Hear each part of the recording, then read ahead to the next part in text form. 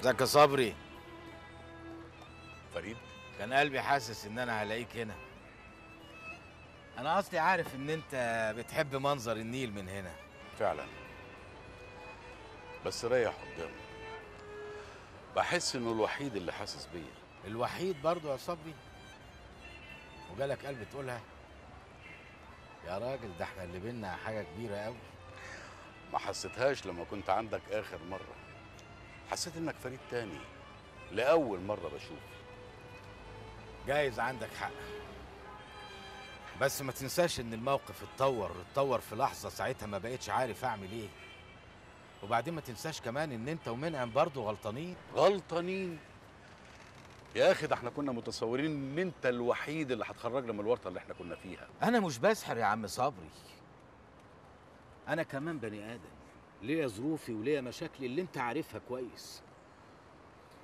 يا أخي ده قبل ما تيجي انت ومنعم بدقايق أنا كانت دماغي دي هتنفجر.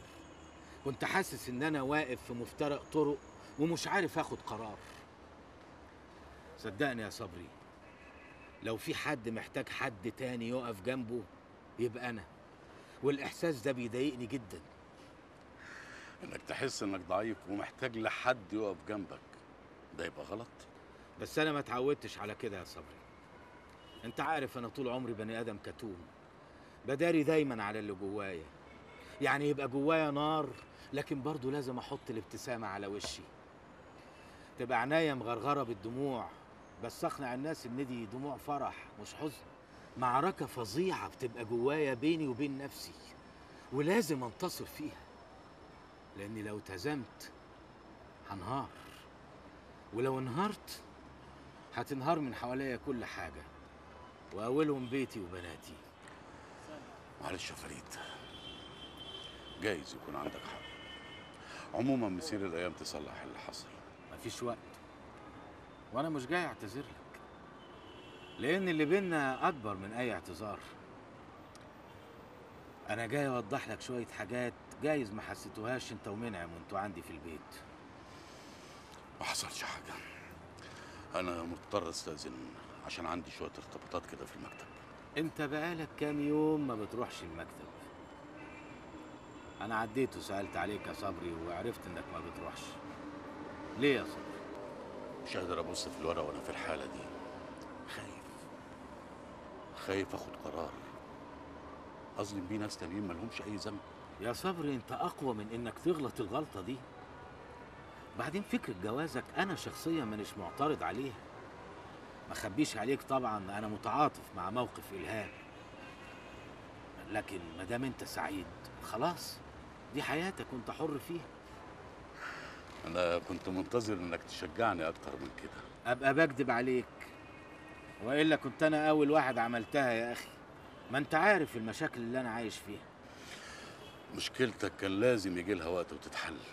لكن أنا مش قادر استمر أكتر من كده. كلنا تصورنا إنك هتقدر تستمر. وأنا كمان لغاية ما ظهرت محاسن في حياتي. ساعتها ما قدرتش. كان لازم ساعتها تفاتح إلهام. على الأقل كان ممكن توصلوا لحل يرضي الطرفين. طب بتقول إيه؟ أقول لإلهام إن أنا هتجوز. طب إزاي؟ معرفش بس اللي أنا أعرفه إن إلهام ست عاقلة وكان ممكن تقدر موقفك. ساعتها ما كناش هنبقى في الوضع اللي إحنا فيه ده. اللي ايده في المية مش زي اللي ايده في النار عن إذنك. صبري. أنا تصورت إن أنا لما أجي لك لغاية هنا إننا هنحل كل حاجة. وأنا برضه قلت لك. مسير الأيام تصلح اللي حصل. وأنا مش هضغط عليك يا صبري. روح أنت شوف اللي وراك إيه وابقى بارك لي المدام محاسن لغاية ما اجيلكوا البيت وأعمل الواجب بشكل صح. عن إذنك. لا لا لا لا بتعمل إيه؟ سيب الحساب. أنا أصلي هكمل شوية. أنا برضو بحس إن النيل بيفهمني وبيحس بيا.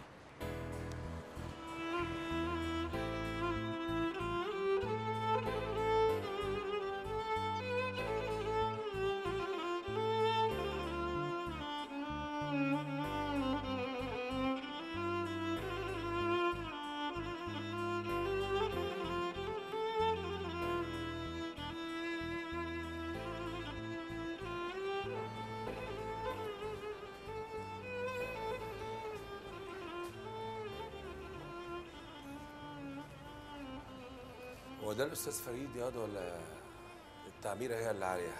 لا التعميرة واطية. تعميرة وحشة. أنا الأستاذ فريد يا أستاذ عبد المنعم. زق أنت.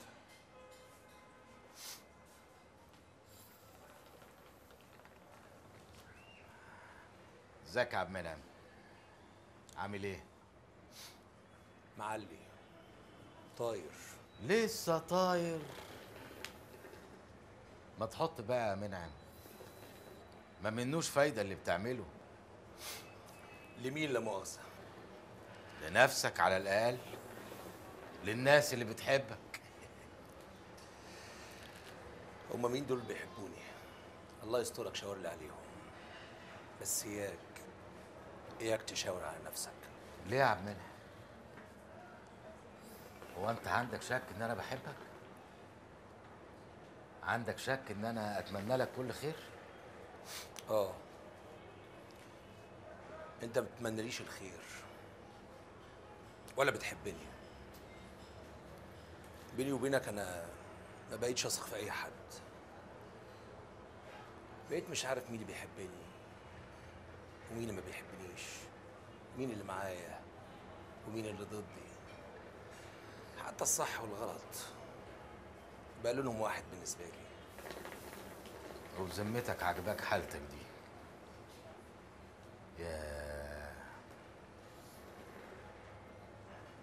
بقى هو ده منعم اللي كنا نعرفه. يعني هو ده فريد اللي إحنا نعرفه. مفيش حاجة بتفضل على حالها. صح. مفيش حاجة بتفضل على حالها. على فكرة أنا كنت مع صبري النهاردة الصبح. أنا عايز أفهم بقى. أنتوا ليه زعلانين مني؟ يا إخوانا ما أنا قلت الكلام ده من الأول محدش فيكم صدقني. طب أهو لقاء وإلهام الاتنين كلموني في التليفون والاتنين اتهموني إن أنا كنت عارف وساكت وأنا طبعا اضطريت أكذب وأقول ما حصلش. أنا عايز أفهم حاجة. أنت ليه دايما بتدخلنا في مشكلة وتطلعنا من مشكلة؟ ليه دايما بتسيب مشاكلنا وتبص لنفسك؟ يا أخي ده إحنا كنا جايين لك بنستنجد بيك. طمعانين في حتة حبل تشدنا من الغرقة اللي إحنا فيها. تصدق بالله لو كنت حتى رميت لنا حتة فتلة كنا برضه موافقين. بس أنت جيت بقى بعزم قوتك. ورحت جاي مقطع اللي بينا وزهقنا في البحر من تاني. بعد كل ده مش عايزنا نزعل منك؟ بقى مرت يا فريد. يا عمنا بقى أنا مش فاهم. أنتوا أنتوا ليه يا اخوانا متصورين إن أنا في إيدي عصاية سحرية ممكن أحل بيها أي مشكلة؟ يا أخي إحنا دايما شايفينك كده.